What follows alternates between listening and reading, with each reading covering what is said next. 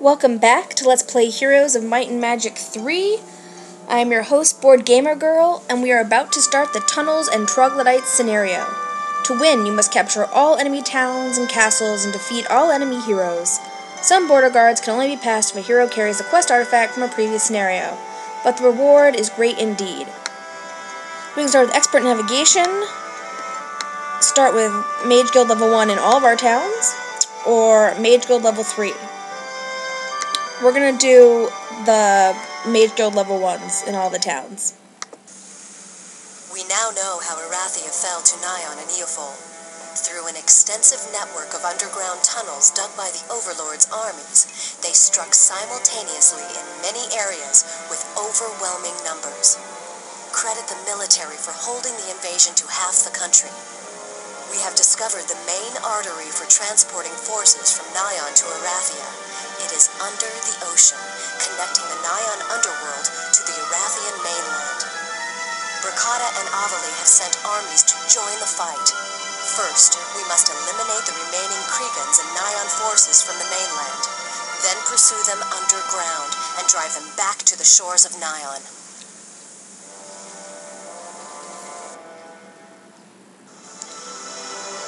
The dungeon overlords are clever. While the devils of Eeofol attacked Erathia's borders, the forces of Nighon tunneled nearly the entire distance to Steadwick, launching surprise attacks almost simultaneously across the nation. We should credit the Royal Erathian Military Command for holding the invasion to just the eastern half of Erathia. Regardless, we now have the dungeon overlords on the run. Your job is to pursue them back under the Nighon Straits and establish a foothold in their home. Forces from AvLee and Bracada will assist us in this final push. No Nighon or Eeofol outposts can be permitted to survive in the tunnels. We must teach the dungeon overlords a lesson they will never forget. Good luck. Okay, let's see what we got here. Whoa, whoa, whoa. That is nutso.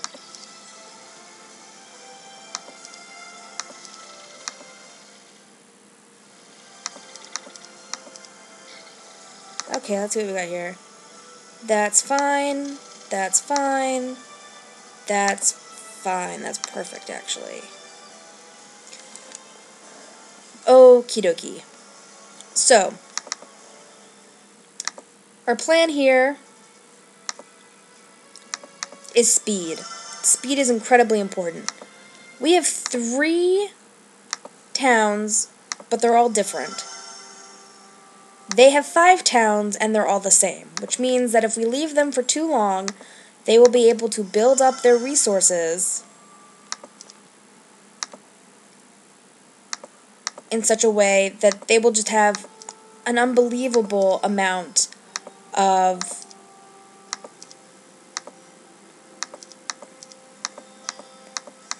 they will have an unbelievable amount of troops because they're all the same. And since we do not have that luxury, we need to be quick in pursuing them and keeping them from getting the jump on us. I don't really want you to have any of that stuff right now. So that's basically our goal here, is to be as quick as possible in getting through this stuff. Okay. Wow, that those are crappy, crappy starting spells. No, not for two, not for 2,000 gold, not right now. Kidding me? I don't have any sort of offensive magic spell? You might be able to take a large force to Nighon by sea, attacking them from above, but you must use caution as the reef-filled straits are both wide and treacherous. Yes, well, tell me about it. Okay, I guess we're gonna come up here. And we'll just get you leveled up as quickly as possible. Yes, I want water magic.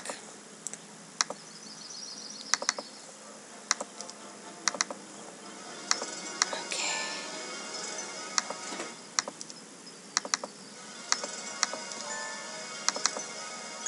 So we're gonna basically go not a solely one hero strategy, Um, there will be one main hero who gets buffed more than others, and I think that's going to be Christian for us.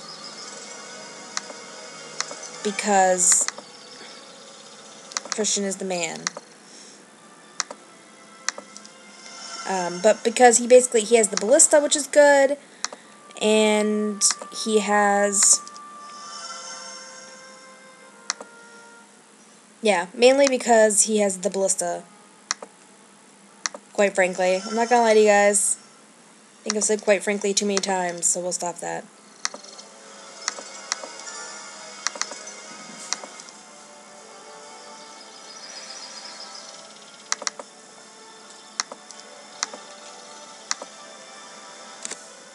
Diplomacy. Is diplomacy worthwhile? It might be. In this scenario only, am I going to say that diplomacy might be worthwhile. Because basically what we're going to really go after is our, our troops that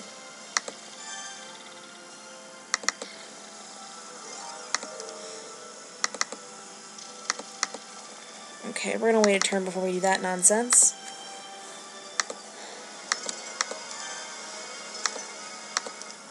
Advanced air magic is fine. Let's get this going. We want to get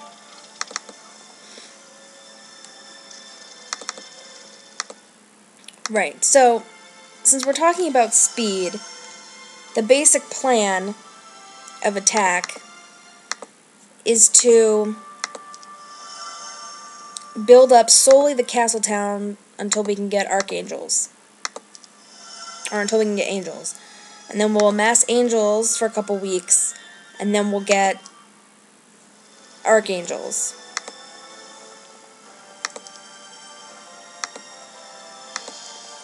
That is the plan.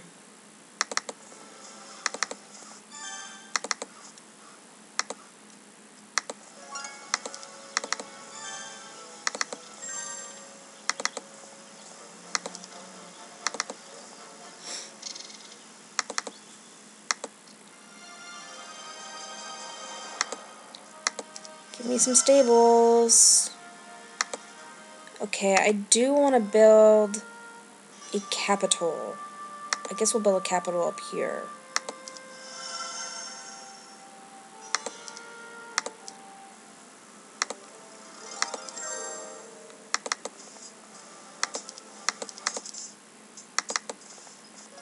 Get some resources, and then we'll come down here and get this stuff.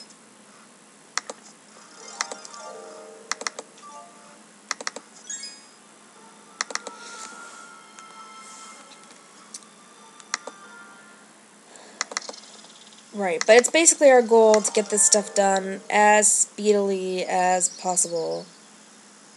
But we don't have any... This is obnoxious, that we have no magical spells.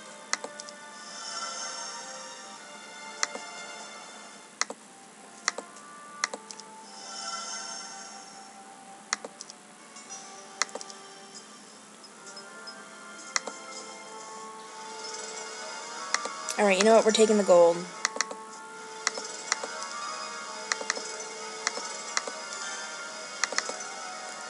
I almost always, as I think you all know, I almost always take experience when it's 1500 because that's a lot of experience. But I want this capital. I do.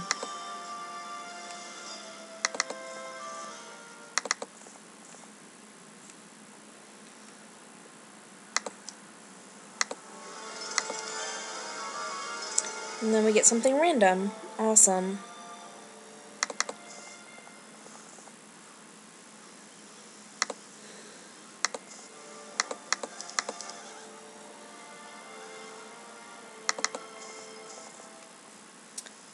Okay, so where are we along the path of getting the Portal of Glory? We need 20,000, which we're just not going to have.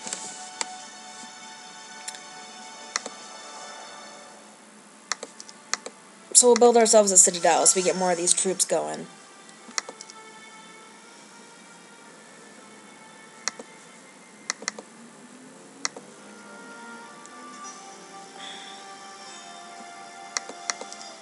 Yeah, okay. Oh, wait, hold on. Astral.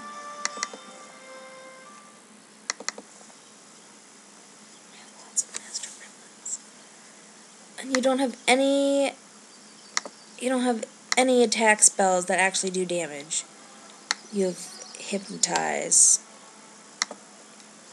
But I don't know if you'll be able to hypnotize the Master Gremlins, so we're going to have to get him uh, a level 2 Mage Guild or something. Apparently. I don't know.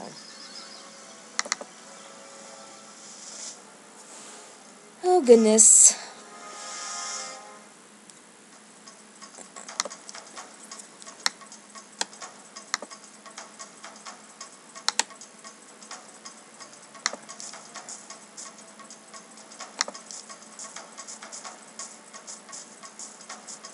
This was a mistake. I shouldn't have gone after the Horde of Pikemen.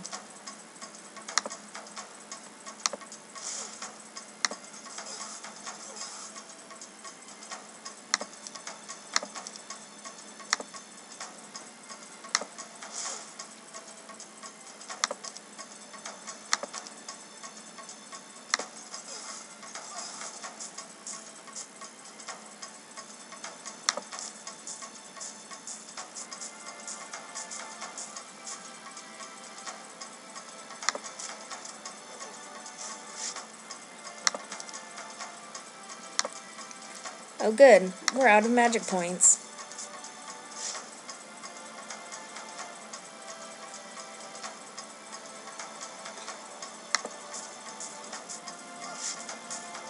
Oh good, attack the ballista, that's what I'm talking about.